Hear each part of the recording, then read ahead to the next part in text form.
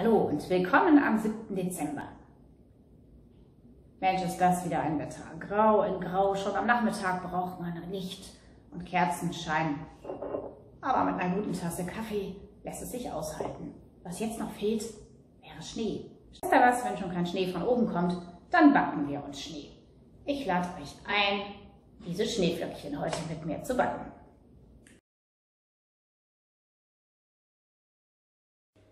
Der Teig ist fertig und aus dem Teig forme ich jetzt viele kleine Kügelchen. Je kleiner, desto filigraner natürlich. Und dann kann man sie mit einer Kuchengabel so leicht andrücken. Jede wird dann ein bisschen anders. Und wenn das geschehen ist, ab damit in den Backofen bei 180 Grad ungefähr 10 Minuten. So, die Schneeflöckchen sind fertig. Fehlt noch ein bisschen Schnee und den holen wir uns jetzt mit der Beschneiungsanlage.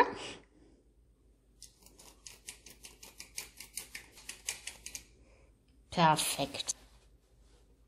Und jetzt genießen. Wie echte Schneeflocken zergehen sie im Mund. Und wer jetzt schnell ist und diesen Beitrag liked und einen Kommentar schreibt bei Facebook oder bei Instagram, dem schicke ich ein Tütchen zu mit Schneeflocken und ich wünsche euch einen wundervollen 7. Dezember.